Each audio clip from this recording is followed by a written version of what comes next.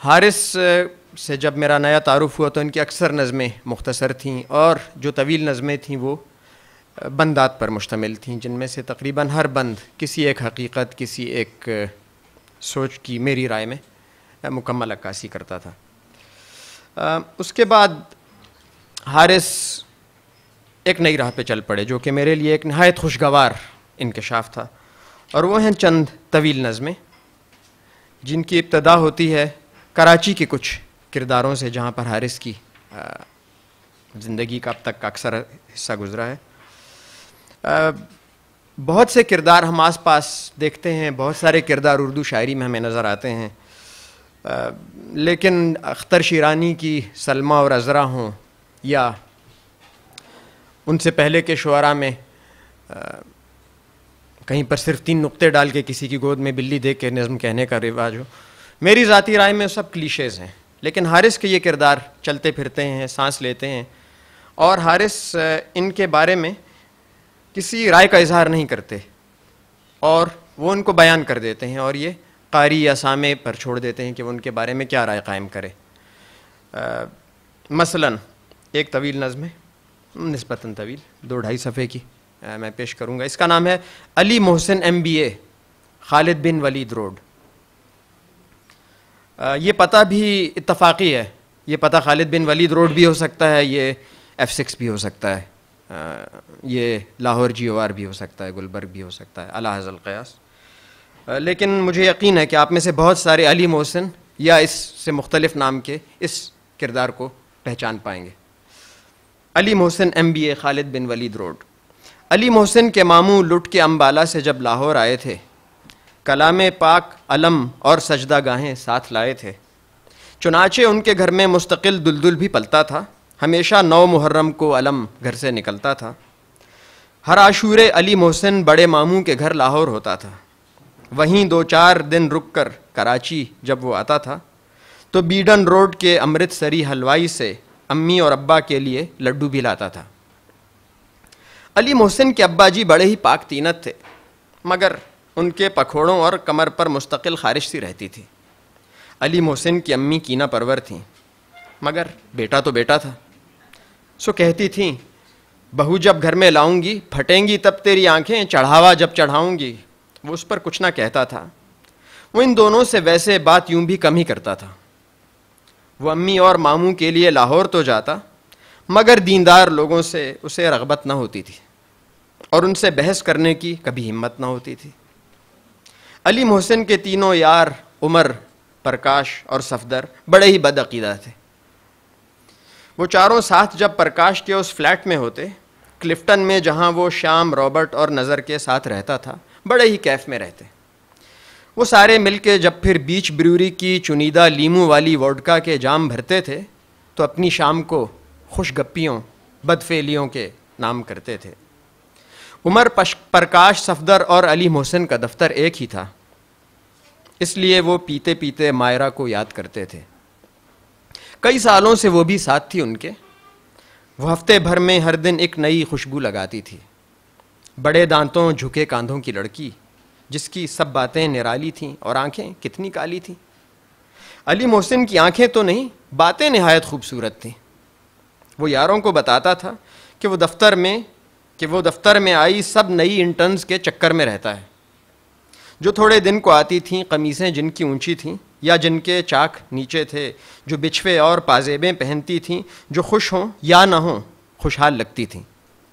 वो बातों की अनी से जब किसी इंटर्न के दिल में बहुत से नित नए और पुरमसरत ख्वाब बोता था, उसे खुद भी ज़रा धीमा सा और मगलूब सा एक इश्क होता था। वो अपने काम में भी मुस्तैद था। कंपनी ने उसको गाड़ी दी थी जिसमें डक लगा था। और किसी इंटर्न को लेकर वो उस पर घूमता रहता, पठाने खान को सुनता, मुसलसल झूमता रहता। अली मोहसिन पुलिस के रोकने के वक्त से पहले कढ़ाई खा के और यारों से रुख्सत लेके अपने घर पहुँचता था। पहुँचते ही वो टीवी पर किसी चैनल से आती इंडियन पिक्चर लगाता था, मगर फिर भूलकर सब मायरा की खुशबुओं में डूब जाता था। Defiant flirtation never puts me off.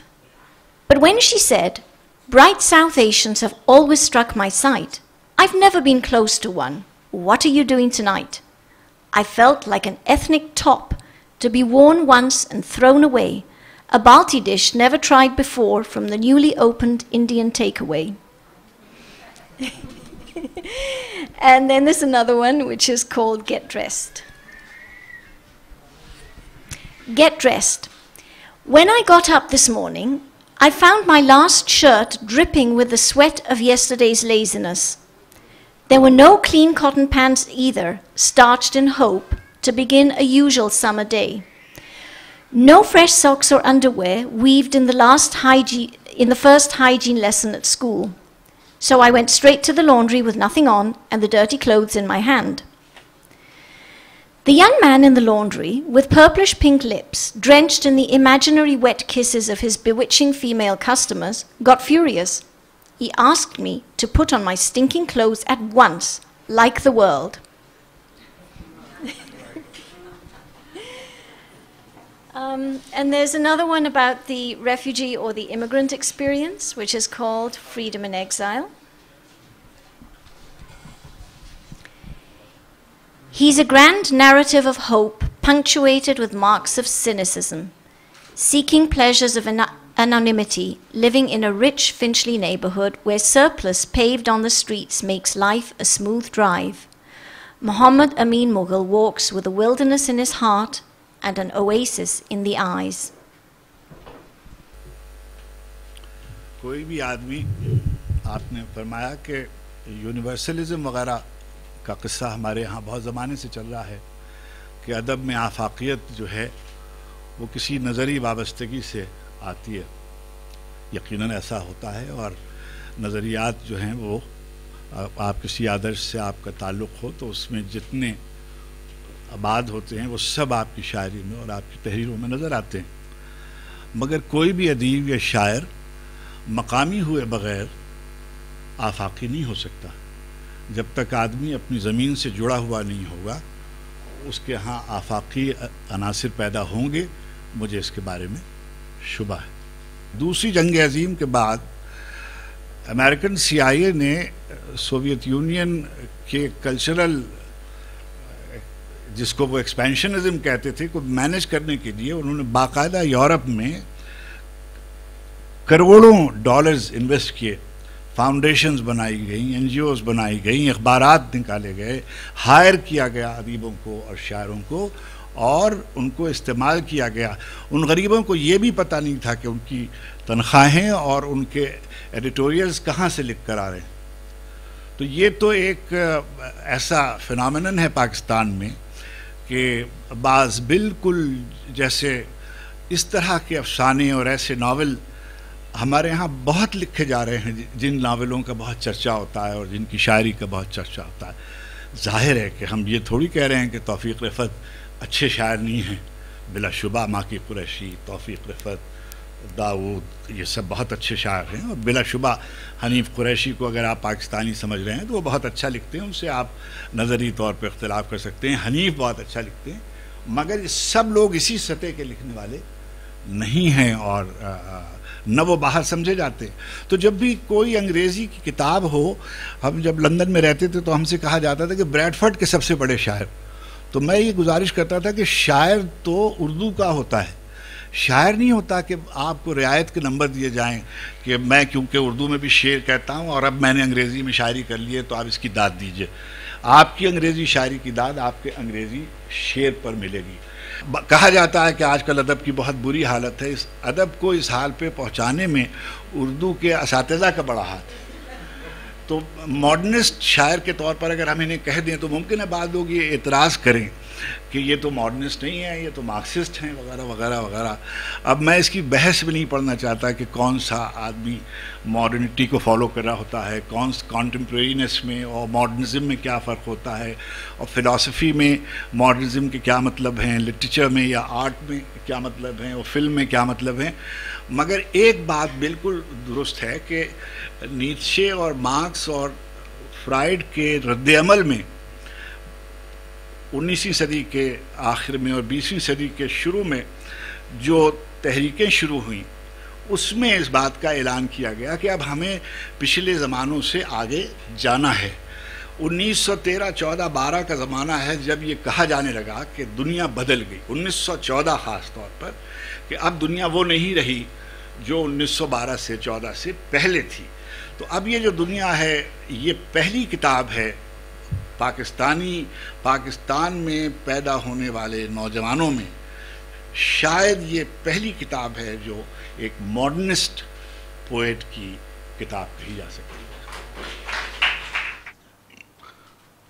I shall not return the borrowed dust.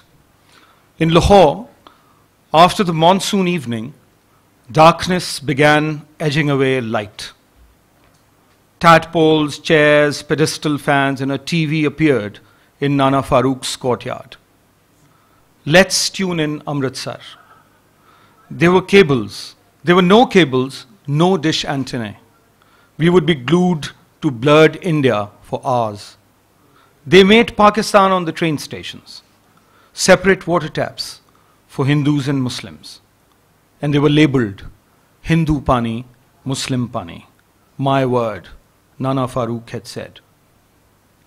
So Usman stirred the soundscapes of an Iranian cafe in Quetta. Come off it. You're obsessed with Karachi. Oh, yes, we are, like our forebears were obsessed with Awadh and Kashmir. But they failed to choose a water tap and couldn't prefer the Indus over the Ganges, the Ganges over the Euphrates. Awadh lives in our lexicon, Kashmir in our taste buds. We live in the valley of Sindh but we fail to choose a name for ourselves and fail to choose a water tap. With gunpowder, Srinagar and Karachi are cleansed. We are not given time to bury the dead. We carry them. They are heavy. We are always tired, always thirsty, but we fail to choose a water tap and drink tears. Hindu tears, Muslim tears, Punjabi tears, Bengali tears, Muhajir tears, Sindhi tears. For our forebears told us, never sell your souls for the reasons you sell your bodies. Drink tears to quench your thirst. And what the Quran said, bear in mind. When the sky is cleft, and when the stars are scattered, and when the seas are flowed out, and when the graves are ransacked, each soul shall know what it sent for and what it left behind. Um, जमाना वो जमाना था नजीर आलम गवैया उम्र पक्की राग पक्के रंग पक्का।